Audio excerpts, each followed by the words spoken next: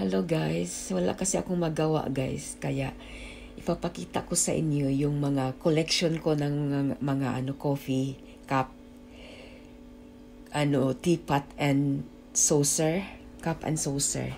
Ayan siya guys. So ito yung mga collection ko guys ng ano teapot, cup and saucer coffee. Ayan.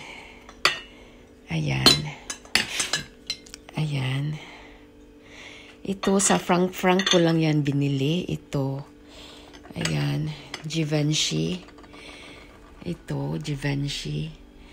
Ito din. Ito set yan sila. Ito naman Valentino.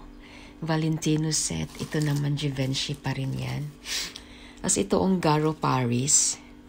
Ayan. Mahilig kasi ako guys. Kaya nagko-collect ako ba.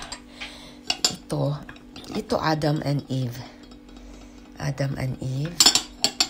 Ayan. Ayan, ang cute-cute. Matutuwa ako pag ano eh, pag nakikita ko tong mga to. Ayan, ito naman Lancel. Ayan. Ang cute-cute nila. Meron pa ako doon nakatago yung set nito. Hindi ko na nilabas kasi. Hindi na magkasya dito. Ayan. Ito yung set nito na sa taas sa kwarto ko. Ayan guys, yan lang. Cute-cute ito bigay. Bigay ng kaibigan ko. Ang cute-cute. Oh. ito naman, ayan, Halloween coffee mug. Hakuen shop, 100 shop.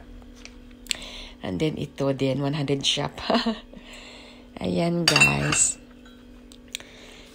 Ito, Givenchy naman, na cup. Ito. Ayan siya guys. Ayan. Ang cute-cute niya. Ayan. Ah, nakakatuwa ba? Ayan siya guys. Ayan. Bye-bye. Yun lang. Ito made in Japan. Ito made in Japan talaga siya. Utsuwanobu ang pangalan. Bye.